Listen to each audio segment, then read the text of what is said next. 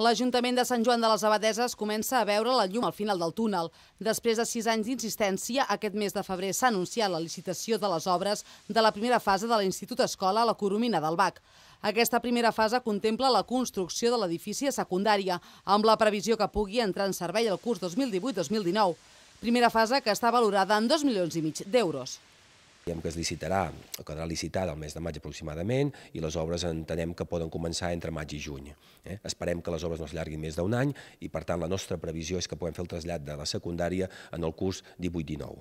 La veritat és que és un edifici modern, ben dotat d'instal·lacions, un edifici eh, sostenible, lliure de barreres, disposarà doncs, de quatre aules, de més una de desdoblament, més una de reforç, una de plàstica, una de tallers, una biblioteca, una de música, eh, bé, més els espais lliures, exteriors, patis, eh, pistes de bàsquet, etc. No? Sí que és cert que quan vagin arribant les altres construccions també disposarem d'un gimnàs i la resta d'equipament. El procés per aconseguir l'Institut Escola va començar el 2008. Va ser amb la modificació del Pla General per destinar 12.000 metres quadrats de l'economia al BAC a equipament educatiu. Seguidament es va fer la cessió del terreny al Departament d'Ensenyament, la seva urbanització i la licitació del projecte de la primera fase. Per tant, ara queda pendent la redacció dels projectes dels edificis de primària infantil.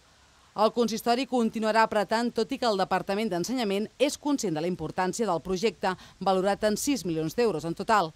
Tot és qüestió de temps i de recursos econòmics en un procés que s'allargarà uns anys més a avançar l'Ajuntament. Hi haurà més obres a la Coromina del Bac en els propers mesos. També han de començar els treballs per enllaçar la Via Verda amb la Vall de Camprodon. L'Ajuntament considera que tot plegat pot suposar un revulsiu per a aquest sector del municipi on encara hi ha marge per créixer després de la crisi econòmica.